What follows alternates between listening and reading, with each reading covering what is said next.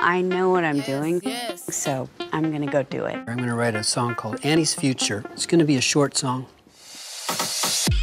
What are you gonna do now? I'm taking a chance on myself. You are a great essayist. I would love to offer you an internship, though I should mention it's unpaid.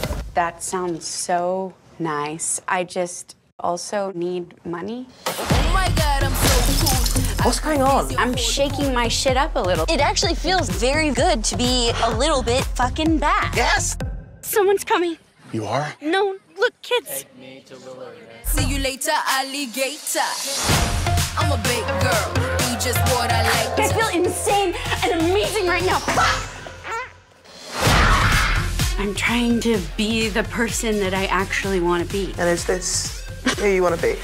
No, not at all. I'm a big girl. Fuck! What you wanna do? I know you get that picture.